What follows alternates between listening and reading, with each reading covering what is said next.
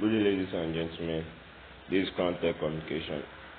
In this video I'm, I'm going to be showing you how you can create a custom email for your website through your cPanel. Now the first thing you need to do is you already have your cPanel login details. So you go to your cPanel and log into your cPanel. So you know how to log into your cPanel. You type your website slash cPanel then you send it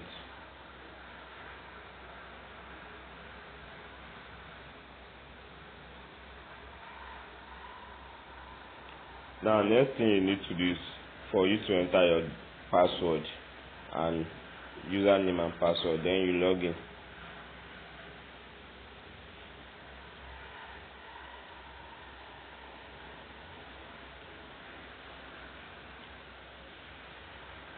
So after it has successfully logged in the first thing you are going to see depending on your hosting plan.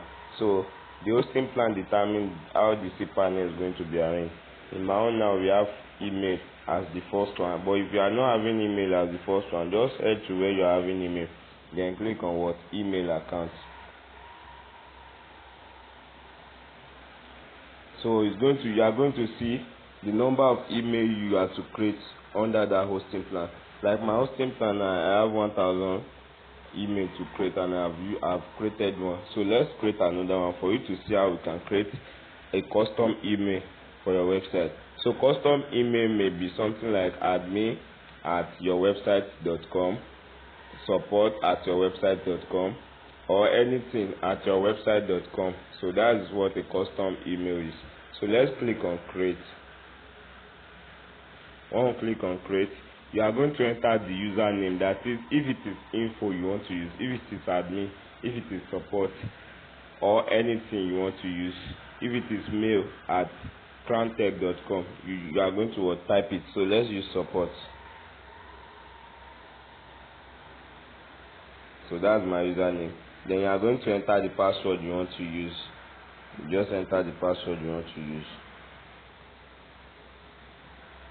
So after you have entered the password then you would click on create. That's all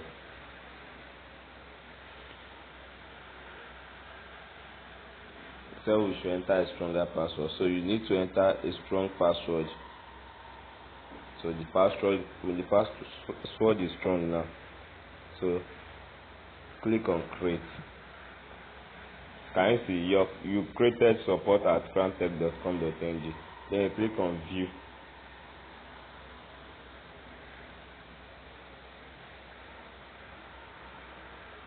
Can you see? This is it these are these are email we created now. So when you click on manage maybe you want to go to the website to the email it's going to tell you that what you should check. Click on check mail. So it will direct you to where you are going to check your mail. That's how you are going to check it anytime you want to check if there's there's message. But there's another way you can check it without logging into your cPanel and the only way you can achieve that is to forward your custom email to your personal email account. So i'll click i'll check this box and click on this round cube. Then it will take me to where my mail is. Then it will show me all my mail.